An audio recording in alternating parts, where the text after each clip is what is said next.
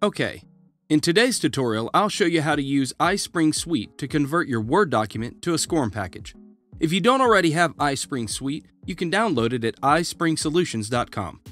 I'm going to start off by opening iSpring Suite, then I'll head on down and select the Books tab. From here, I can browse for my Word document and open it by selecting the Browse button and finding the Word document. Here's my file, and I'm going to open it. Okay, my file is open and now what I want to do is publish it to a SCORM format. So I will select Publish from here. Now I can choose where I'm going to publish to. I want to create a SCORM package, so I'll select the LMS tab. Now I have all my publishing options for an LMS. I can name my file and choose where my file will be saved.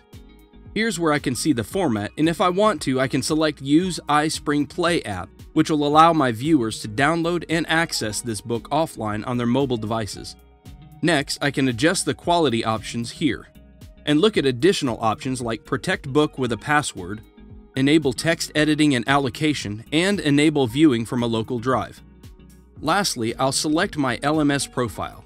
iSpring Suite can publish not only for SCORM, but for a wide variety of e-learning standards like SCORM 1.2 and 2004, AICC, Experience API, also known as Tin Can, and CMI 5, and each standard has its own set of customizations.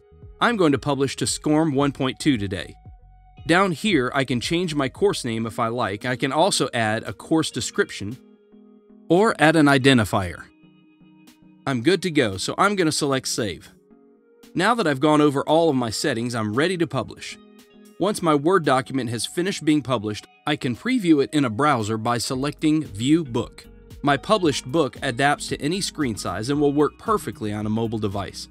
Or if I want to, I can directly access my SCORM zip file by selecting Open. And here we have it, a zip file all ready for upload to any LMS that supports SCORM. Publishing documents to SCORM is not the only great option in iSpring Suite. With iSpring Suite, you can create compelling courses with quizzes, interactions, simulations, and publish them to any format you like.